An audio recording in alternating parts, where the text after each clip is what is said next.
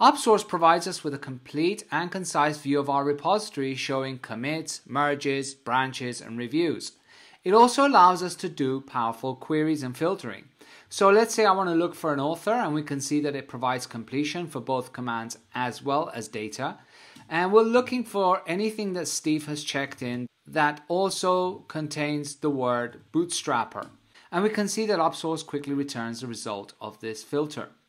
We can of course do searches by path as well. So let's say I want to look for a specific section of my project. So let's say in this case authentication and anything that has changed in that area of my project we can see all of the different commits for each of one we can drill down and see all of the files that have changed for each individual file we can see an inline diff and we can see that upsource also identifies changes on a specific line without removing adding the line but just highlighting the exact change.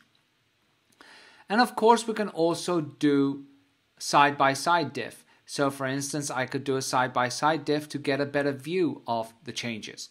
Upsource also provides us with the ability to ignore white spaces, making these diffs somewhat more convenient.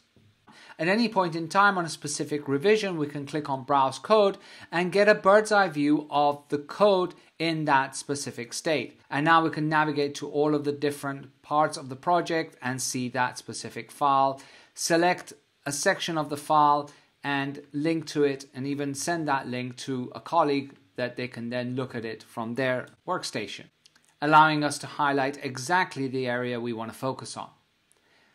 We can also focus on branches. So let's say I want to select branch M8 and I can click on the label for that branch, which will take me to the branch page. And here I can see all of the commits for that branch as well as the files that have changed. I can then select compare to and select some other branch and then run a comparison and again see all of the changes that have occurred between these two branches with all the corresponding commits and the files.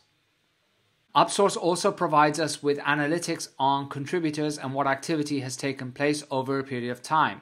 We can see here that we have a list of all the different contributors and we can look over, for instance, a yearly period and see the activity that has taken place by each one.